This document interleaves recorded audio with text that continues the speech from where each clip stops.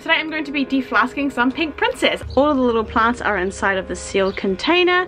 Ta-da! I have three of these flasks here today. The roots are in a jelly-like substance, very, very slowly coming apart. So as you can see, they have now all been potted up and look at how good they are.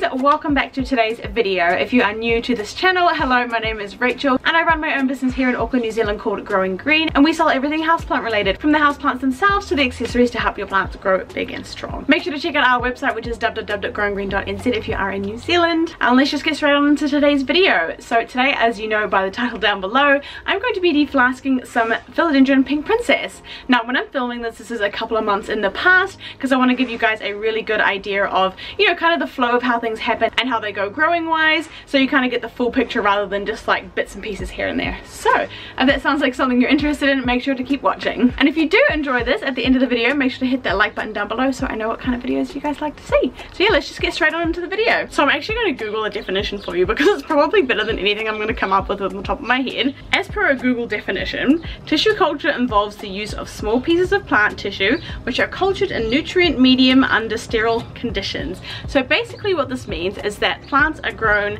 from clones of parent plants. So for example, you take some tissue from another plant and you clone it in the medium and then it grows new plants from that. It's considered to be one of the quickest and cheapest and easiest ways to grow plants to help meet the demand in the plant industry. If you didn't know already, I used to grow all of my own plants just from like normal standard propagation like cutting and stuff like that but I am not able to keep up with demand that way um, so I have decided to start buying some plants in via tissue culture and deflasking them and growing them on myself. So first of all if you don't know what deflasking is it is basically taking plants that have been cloned via tissue culture out of a flask and potting them up ready to grow on. If you want a little bit more info on what tissue culture is and how it's done I will pop some links in the description box down below for you. I am by no means an expert myself I've got a rough idea of how it works um, but I'm kind of just fiddling around with the actual deflasking and growing them on side of things to start with. So today I'm going to be deflasking some Pink Princess. I'll give you some close-up shots so you can actually see what they look like. So this is what the flask looks like. You can get different kind of flasks from different growers.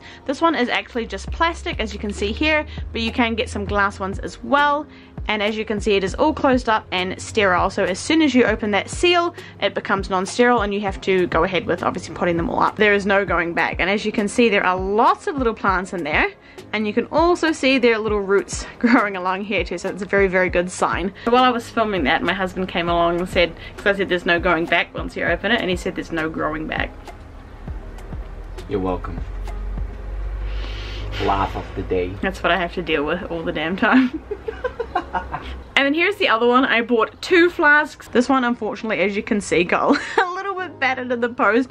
And it's not a round um, flask anymore. It is just, it's like a triangle. So we're to have to open that up and see how that is as well. I'm sure they'll be fine. They look fine in there. They just need to be done today. So yeah, that is what the flasks look like. So I'm going to now take them down to my bench, down the back, and show you how I unflask them. So obviously the first step is to deflask them. And to do that, all you do is just unwrap the lid, open it up, and they're deflasked.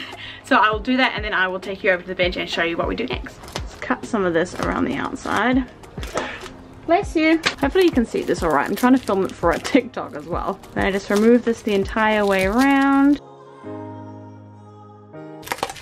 Like so. And then we're ready to take the lid off. Ready? Three, two, one.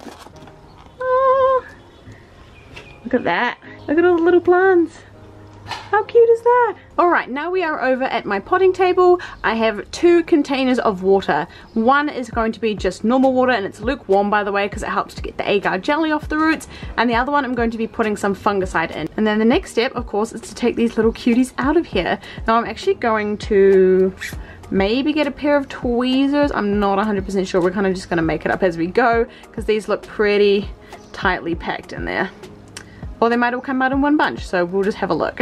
I'm going to just get in there right from the bottom see if I can't just loosen it up in one big chunk. Oh, I think I can. I pull very, very gently. Oh, here we go. Oh, yeah. Oh, yeah. Ta-da! Look at that. It came out on one clump. Look at that. That's the agar gel in the bottom. That's what they are grown in. So we need to now pop that in the water and get all of that off. So now we have our little clump. I'm going to pop it in just the normal water with nothing in it to split them up and remove all that agar jelly on the bottom. You're just going to shake them apart very, very lightly so you don't damage the roots.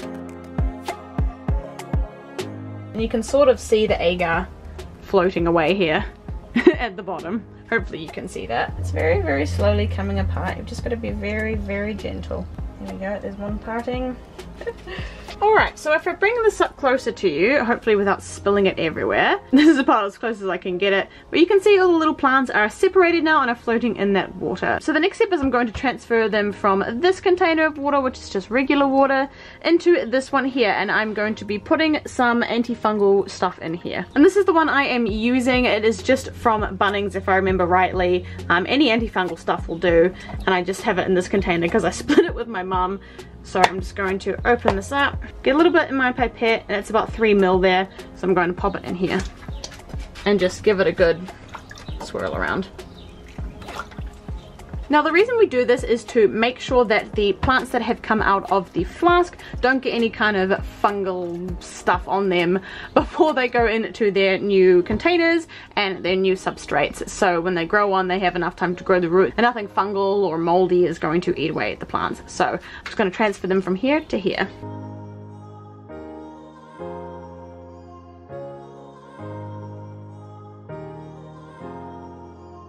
As you can see, a lot of these are pretty big coming out of the flask. Now this is a lot bigger than I would normally like them to be.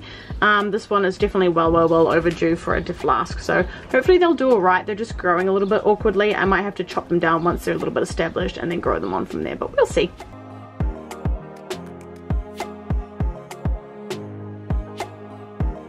Now those are soaking, they're going to be in there for about 15 odd minutes to really just kill any kind of bacteria that are in there. Meanwhile, I'm going to be setting up to pop them up. So these are our 6 centimeter clear pots that I'm going to be using to pot them up in. They're nice and small and I'm going to be potting some in spag moss and bark and some in tree fern fibre just to do kind of like a little bit of an experiment to see how they go. Alright, so it's been about 10-15 minutes and now I'm going to pot up the first few into tree fern fibre. So I'm going to grab my cup, put a little bit of tree fern fibre in it like that and then pot it up. It looks a little bit scraggly and scrawny and it's just been deflowered so it's a little bit sad but hopefully in the next few days or so it will perk up a little bit.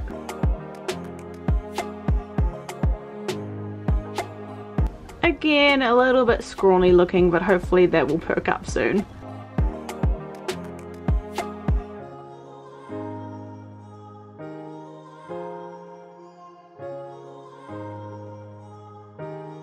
Ta-da! There is the first one in spag moss. So now that those are all done, I'm going to water them in with this CCS Clonex cloning solution from Growth Technology. The stuff is amazing. If you can get your hands on it, definitely do. Um, it's a rooting hormone basically, so you just water your plants in like normal and it helps accelerate the growth of your roots. So I'm just going to water them in with that. I've also filled up another tray with a little bit of damp sphagnum moss to help keep it nice and moist in the prop box while they are obviously rooting.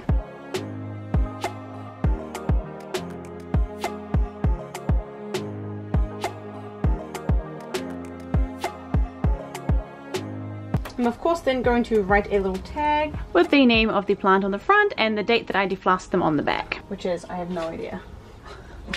it is the 7th. Cool, good to know. There we go, 7th of the 12th, 2022. And then of course I'm going to pop a lid on it. And it's good to go. And as you can see, they're all just hanging out in there. Actually done some deflasking a month ago um, for these jewel orchids. And as you can see, they are doing really, really well. And there's some more over here as well. They're all doing very good. I haven't lost a single one, which is nice. And obviously some Phalaenopsis over here as well. So that's all for today's part of the video. I will come back to you when I see something happening or yeah, just when I notice anything. So yeah, see you soon. So I thought I was gonna end the video there and just post that.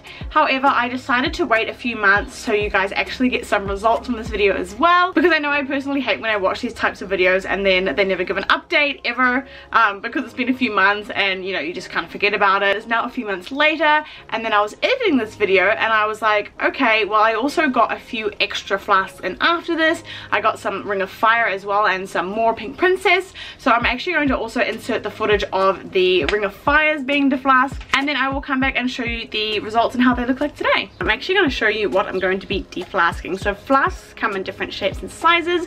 These are the ones I'm going to be deflasking today but you also get flasks that look like this. There are a couple of different types of flasks. It just means they're in like a sterile container. It's a little bit condensated in there but hopefully you can see this just fine and as you can see they have plenty of roots on the bottom so they are definitely wanting to be deflasked as soon as possible. So I have three of these flasks here today I'm going to deflask. So of course the first thing you're going to do is open up your flask. So these ones are saran wrapped or glad wrapped or whatever you want to call it. So I'm just going to open it up like so and then you just take the lid off and Ta-da! All your little tissue culture plants just bursting to get out of the little container that they're in. This one looks really nice and full. wow. Now normally in a flask you'll get anywhere from 5, 10, 15 plants. Yeah, sometimes you can actually see exactly how many plants there are, but most of the time when you buy them, it's just kind of like a guess. So um, I'm expecting about 10 per, per flask. So yeah, let's go to the bench.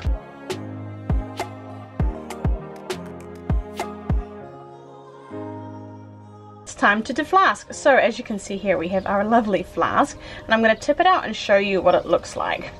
So the roots are in a jelly-like substance. Now this is called agar and this is actually what the plants live off while they're inside of the container. The thing with agar though is when you take them out it actually attracts fungicides and bacteria etc etc hence why we dip them in a fungicide when we deflask them so they don't attach to the plants and eat away at them before you can actually grow them so we've actually got to separate them from this and that is the reason we have warm water in the actual puddle down below so that the agar easily splits up. So let's do that now. And I've also got gloves on because fungicide is no joke and it smells. and there we go, just pop it in the water. You're just gonna give it a bit of a wiggle, try and get the water in there and loosen up that agar at the bottom. All of the stuff, it should just start to break away. If you have a short attention span, deflasking is not for you. These were so root bound. The pink princesses just like fell apart.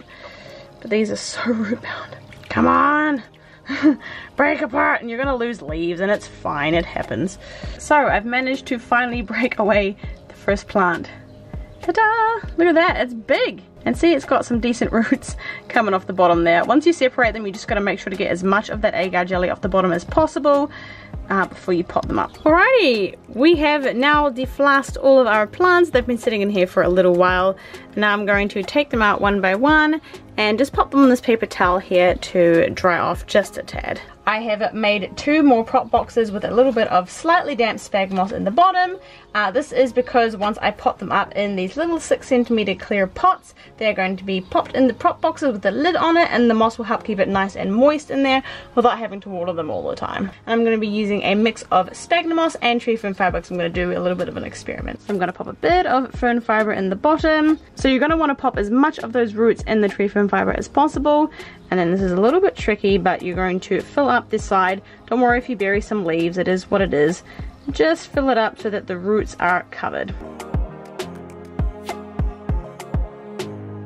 And remember, always tap them in, don't push them in, because otherwise those roots won't have anywhere to go. And there we go, you have your first little tissue culture plant ready to grow on. So I'm going to do a few like this, and then I'm also going to do some in sphagnum moss.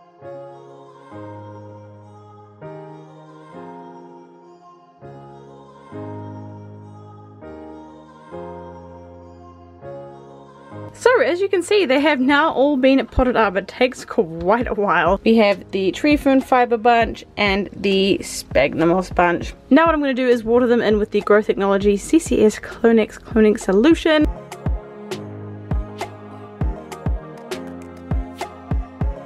So here they are on the shelf, all officially ready to grow on.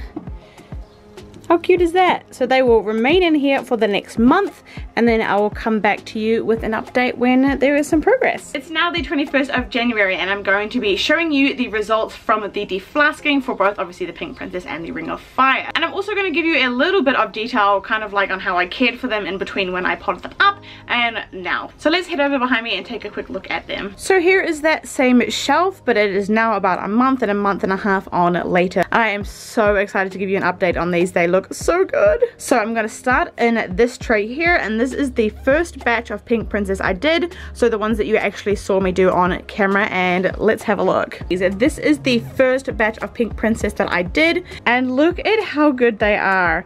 I am so impressed with how well these went. This is one obviously in tree fern fiber and as you can see it has pushed out several new leaves since being in the prop box and it is pushing out another leaf as we speak. They all honestly look so lush and healthy and they are truly honestly just about ready to be sold because they are at such a good stage. I mean, some of them are a little bit smaller still and some are kind of struggling, but you're going to get that with tissue culture. They're never all going to completely live and be fine, but yeah, I'm just super, super impressed. This one is even thrown out like a half moon leaf. Look at that. How cute! And in regards to tree fern fiber versus sphagnum moss, I think they kind of have been doing about the same. I mean, if you look at this one here and this one here, they're kind of the same size and I've kind of had like equal success with both. So conclusion for that experiment, it doesn't really matter. It's kind of what suits you best. And then I'm going to move over to here and these are the Ring of Fire that I did. So I only did one batch of those. So let's open that up and have a look. Look at them. Ah, they look so good. I cannot believe that they have done so well. But look at that. They are so healthy and are doing so well. Same as the Pink Princess, they have been pushing out leaves, something chronic. So I am really, really happy with those. Those are the ones in the tree fern fiber. And I'll open the lid of this one. And these are the ones in the sphagnum. And as you can see, honestly, they are doing just as well as the ones in the tree fern fiber. So again, not really any kind of like amazing results from either or, they're kind of just exactly the same. So again, it's whatever suits you. And then over the back there, I did a second lot of Pink Princess about, I'd say two weeks after the first lot. So it'll be nice to see the progression of how they're growing. But yeah, I mean, if you take a look at those, they look just as good as the ones I did two weeks prior. So safe to say, I think I'm pretty confident with deflasking all of these now. In regards to the kind of care that I did for these in between deflasking them and today, for the first two weeks, I left them in their prop box with the lids completely shut. And by that, I mean the little green things that are on top of these, you know what they are. Um, I left them completely shut for the first two weeks um, so they could get used to their substrate. And then what I did after two weeks is I opened the little green things on the top of the greenhouse, opened both of them to let them get a bit of the air from the environment that they are going to be in. My plan with this was to kind of acclimatize them as slowly as possible um, because obviously they're, you know, precious little plants. Um, they do sometimes go into a little bit of shock if you introduce them too quickly. So I did that and then at the one month mark I take the lid off completely and then they're on their own. and just looking at these results, like I said, I am pretty confident now with deflasking plants and getting them to grow on. There's always going to be some degree of loss with them and the best way to learn how to do these things is to just do it and experiment. And yes, you might lose some, but you will learn a great deal from it. And this is definitely something I'm going to be doing quite a lot more in the future because like I said, it is a fantastic way to get more varieties into my shop um, quicker because like, you know, propagating pink princesses takes ages and there's I think more loss with that in regards to um, percentage wise kind of thing. Um, so yeah, I've really enjoyed this and I will definitely be doing more of this in the future. So that is all for today's video. I really hope you enjoyed this. It's definitely something different. It's been a passion project for almost two months now. Um, it's definitely something that is fun um, and something different to just, you know, keeping your plants alive. And it's, and it's funny because tissue culture wasn't really a thing here in this country. Yes, there were businesses that were doing it, but no one was kind of really posting about it publicly. Um, so yeah, I'm really happy to finally get this video out and kind of show you guys what it's like behind the scenes of my, you know, experience experimenting with it. And ever since I started posting about it a couple of months ago, I've seen it pop up a little bit more here and there with other people trying it out as well, which is really cool to see. Thank you so much for watching. I really, really hope you enjoyed this video and got some value out of it. If you did, make sure to hit that thumbs up button down below. It only takes two seconds and it really helps me kind of know what videos you guys like me to create. And if you did enjoy this video and want to see more like this, make sure to hit that subscribe button down below and hit the notification bell so you get notified every time I upload. And I also love chatting with you guys as well, so if you had any more questions or comments or if you've had experience with tissue culture, make sure to leave them in the comment section down below and we can have a chat about it. Thank you guys so much and I will see you in my next video. Bye guys! So yeah, that is what the philosophy look like. Um, so yeah, that is what the asshole. Let's cut some of this around the outside. Bless you. Bless you. I just have to rip into this one. Hang on a minute. Paper goes the way you want it to, does it? So the first few I'm gonna do are, blah, blah.